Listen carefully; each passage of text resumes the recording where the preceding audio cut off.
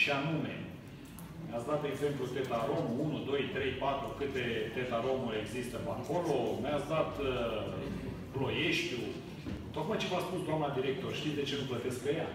Pentru că au clienți.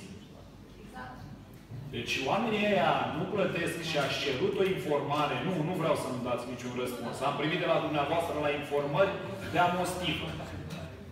Fiți mai prietenos cu pădurile, vă rog frumos. Deci în fiecare zi primesc de la dumneavoastră câte o informare. Absolut degeaba. Oamenii ăia nu plătesc pentru că au clienți. Să înțeleg că până în 2012 sau 2013, când spuneți dumneavoastră că s-a revenit sau s-a făcut ceva, să înțeleg că a fost o năvală, o nebunie, un vacar la ușa dumneavoastră și n-ați reușit să închiriați un metru pătrat de uh, parc uh, industrial pentru că n-a fost întabulat. Eu n-am auzit nici prin presă vreunul dându-se peste cap, făcându-se scandal, domnule, vrem și n-aveți întabulare. N-am auzit.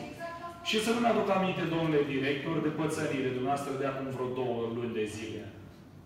Și să știți că cererea mea rămâne în continuare în picioare. Și aștept să aveți onoarea respectivă de a duce la capăt ce va cerut primarul municipiului Galați.